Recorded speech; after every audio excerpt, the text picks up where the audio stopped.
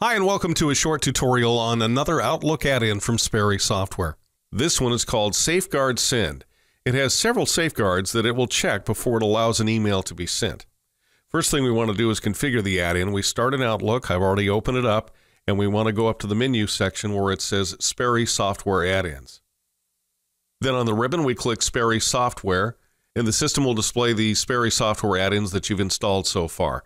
In this case, we're going to work with the third one on the list here. I just installed Safeguard Send. So with Safeguard Send, the first thing it can do is help make sure that you don't accidentally send an email outside of your company domain that has confidential information. Really useful. This allows you a chance to peruse the email one last time before you actually send it out.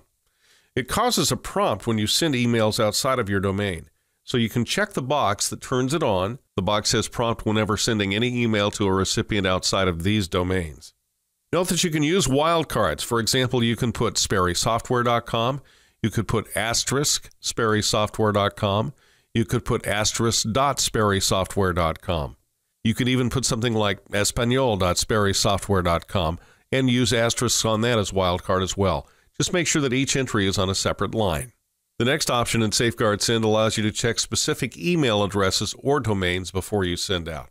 First, it alerts you with a customizable prompt. You can enter that on the right here in the text box.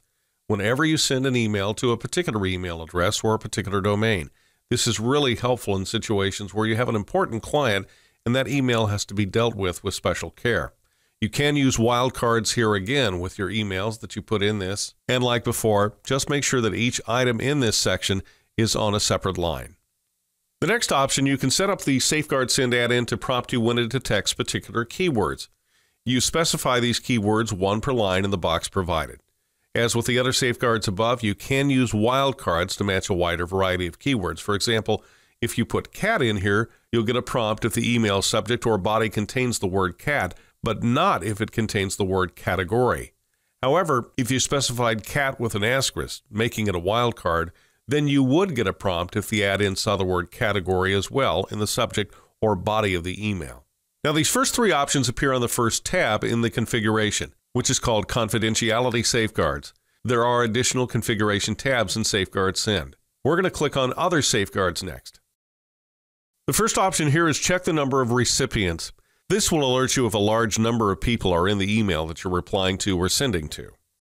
The next option down, turn it on with the checkbox, of course, is is whether or not you'd like to be prompted if you're sending an email and forget to put a subject in the subject line.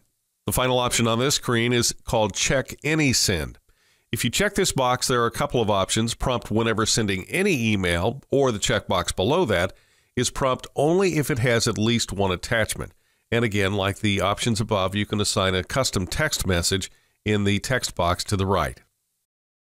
The last tab we're going to look at is called Prevention Safeguards. This allows you to prompt when sending any email that includes a United States Social Security number, and there's also an additional checkbox right below that if you include U.S. Employer Identification Numbers, EINs, as well. And finally, the last option is whether or not you want to be prompted if you're sending an email that has credit card information in it. The system will look at the format of the numbers and see if it's a credit card number and prompt you about that. Now I'm going to go back to the very first tab, Confidentiality Safeguards, and there's one final checkbox we want to make sure of here. And that's at the very top where it says Display a separate prompt for each condition. There are quite a few features in Safeguard Send, and you could get many messages when you attempt to send if you have several of these options set up. If you violate more than one of any of the safeguards that you've enabled, there are basically two ways that you can have the add-in prompt you. You can either have each prompt come up in its own window in serial order, and then you click yes or no on each one, which is the default, or you can choose to have all the safeguard violations show up in a single window, one per email message. Once you've set that up the way you want it, click on OK and you're ready to go. Thanks for watching. Be looking for more videos from Sperry Software.